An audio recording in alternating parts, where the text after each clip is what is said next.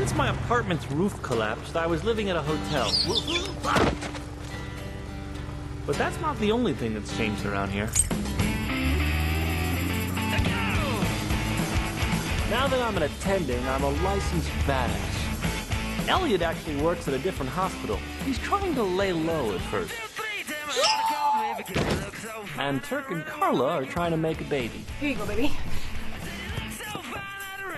I know you love foreplay, but I only have five minutes, so I made you a sandwich. Sexiest thing I've ever seen. Over here, too. My bad, baby. Yep, life was different. You take my Porsche from the valet? This didn't feel like my scooter. Ow! Look, no harm done. Here are your driving glasses.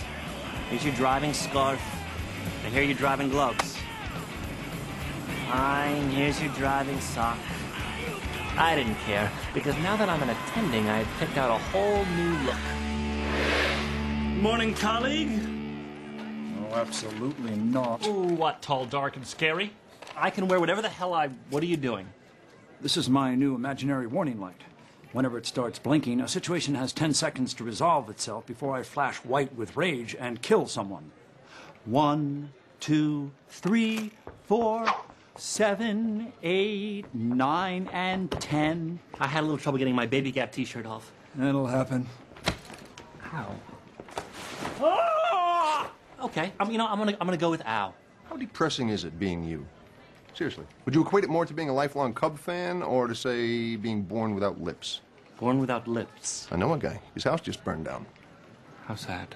Well, he was smoking in bed. He shouldn't smoke because he looks ridiculous. I have a snake face. Listen, today, if you bother me, could you do it without being around me? I have new interns starting. Can you imagine what it's like to see this place through their eyes for the first time?